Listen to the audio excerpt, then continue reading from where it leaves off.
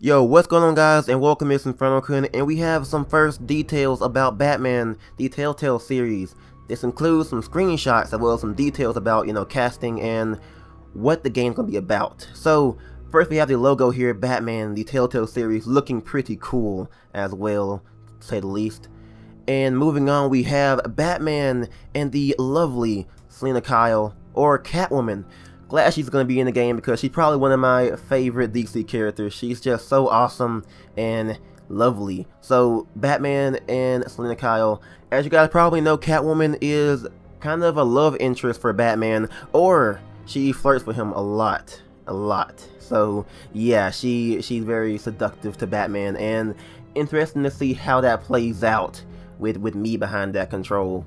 But anyways, let's go ahead and move on of course, it will be a five episode season and come out this summer as well, of course. And moving on, the screenshot we have is Bruce Wayne in the Wayne Manor with a picture of Martha and Thomas Wayne and little Bruce Wayne in the background. I gotta say, the graphics of this game looks pretty smooth. It looks pretty good. So I'm excited to see what kind of changes they made to the, the lighting. As you can see here, it looks pretty awesome. I mean, the, the the one in the city looks pretty good as well. I mean, I'm loving the art style of this game. It's very comic booky. I mean, obviously that's how Telltale makes their games, but this one seems a bit extra comic booky. So let's go ahead and move on to the next one we have of the Batmobile and Batman standing in the Batcave.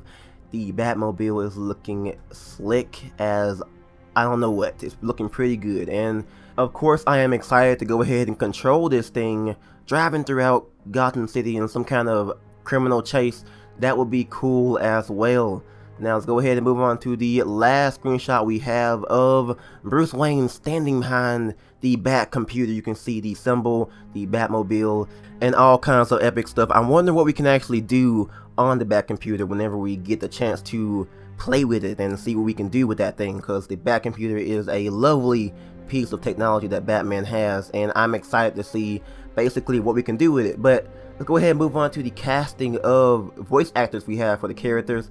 Of course, the amazing and talented Troy Baker will be voicing Bruce Wayne. Troy Baker voiced Rhys in Tales from the Borderlands, so that's pretty awesome as well. Travis Willingham, I don't know him, but he is voicing Harvey Dent. Harvey, glad he's in the game. Harvey Dent is um, Two-Face, if you guys don't know, so hopefully it'll be like him before, you know, he became Two-Face because Harvey Dent was a cool character, one of the good guys before he actually became Two-Face. So I wonder which one's going to be Two-Face or the Harvey Dent that's in the GCPD. So anyways, we have Vicki Vale voiced by the lovely Erin Yvette, my favorite voice actress. Glad she's in the game voicing a, a great character, Vicki Vale, who is a news reporter, if you guys don't know. So that's pretty awesome as well. And we have Enn Reitel, Reitel, I probably butchered that, voicing Alfred Pennyworth. I haven't heard of him, pretty sure he's going to be good as well.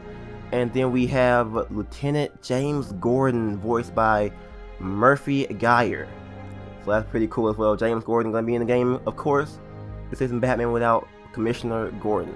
Or it says Lieutenant, so I'm wondering if it's going to be before he became Commissioner, or is that actually Commissioner, Lieutenant, I don't know. So anyways, Let's go ahead and move on. Carmine Falcone. Man, a lovely villain he is. Voiced by Richard McGonagle. McGonagle, yeah, McGonagle. So Carmine Falcone is one of the boss faction owners of Gotham City. So interested to see what he actually does in this game.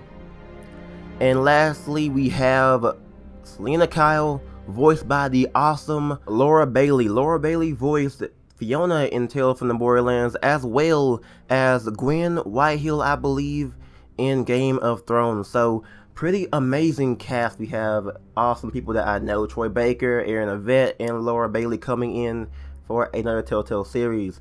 This is some wonderful and awesome news. I'm very, very excited for the game to come out, and I'm just looking forward to it. So, these are the Batman, the Telltale series.